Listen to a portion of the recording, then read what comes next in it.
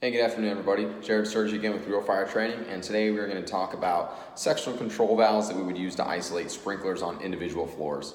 So I have behind me a sprinkler system set up here. I'm just going to go over some of the components of it and some of the reasons that we would isolate uh, a valve here on the individual, individual floor as opposed to going down in the main pump room. So let's say you go to an incident where you have a sprinkler head busts, whether someone was malicious, someone hung a coat on the on the sprinkler head and it popped, and you have to isolate that sprinkler head or let's say you go to a fire in there and activate the sprinkler head, and then you still have to lead off and with your with your hose lines to put the fire out, do some mop up, and you have some sprinkler control that you need to, to do also. Right? Uh, you could certainly shut the, the sprinkler off with the main control valve in the pump room. The problem with that is it, it'll certainly work. One, it will take longer to drain that system, and then if I kill the main control valve in the pump room, I lose the whole system, right? I lose the sprinklers to every other floor, and I also lose my firefighting water on my standpipe, right, in, in this combination system, or in a combination system.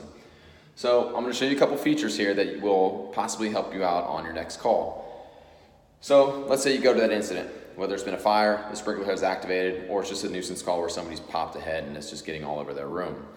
You can certainly go after, the, again, the main control valve, like I said. You can actually go after the individual sprinkler head if you choose to. Uh, another simple way is to just close the sectional control valve or the sprinkler control valve for that individual floor. So I'm on the first floor here, and I'm gonna flip the camera around. There's a couple different components that you could see. So this is the sectional control valve or the isolation valve for the sprinkler piping, okay? A couple things on this isolation valve. You can see it's in the open position. It's also electronically protected. So if I go to shut this valve and I close it, it's gonna send a signal back to my fire alarm control panel. It's actually gonna send a supervisory alarm saying, hey, something's not right, there's an off normal condition, and it's gonna indicate that on the panel. That would not dispatch the fire department, but would alert the, um, the local building here and the, the, the management or the chief engineer, all right? So I can isolate this valve, right? So obviously in the normally open position, you can see there's a tamper seal to keep people from messing with it. But if I want to come up here and I want to shut this valve off, right, I can isolate the individual floor, right? The best part about isolating that individual floor is now I've isolated that, that room or that floor where the sprinklers have ruptured, but I keep my standpipe water and I don't lose the entire building, okay? Some of the other things that are on here, just some other features. You have your water flow switch that's on the top of this, right, right, right here, right? So it's, it's actually a little paddle wheel that goes inside, inside the piping itself and moves back and forth. So if sprinkler water were to move, a head were to rupture, uh, water will flow, and that is what's going to give you. You can see the, the conduit here tying back to this this component here. That's when it's going to give you the signal that you have water flow, first floor, tenth floor, whatever the case may be. All right. So uh, flow switch here. Again, isolation valve for the sprinkler system here, and they're all going to look very similar. You may have a smaller hand wheel, but it's there.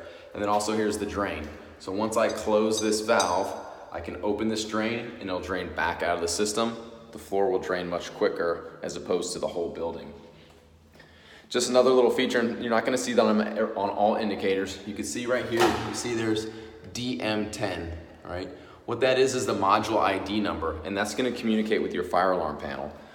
So if I were to go shut this valve or uh, you know, the water flow switch, whatever, these module IDs are tied to pull boxes, they're tied to valves, uh, tamper devices, that module ID will also show up on your fire alarm panel. So if it says water flow first floor, you also might see module ID DM10 or, or, or, or PS5, whatever the case may be. That is just that, um, that specific device communicating with that fire alarm panel to let you know what's going on. So again, just to review, uh, sectional control valve or sprinkler control valve, whatever you want to call it, is, is an option for you to isolate individual floors instead of losing your entire building and losing your standpipe water in a combination system. So thanks everybody.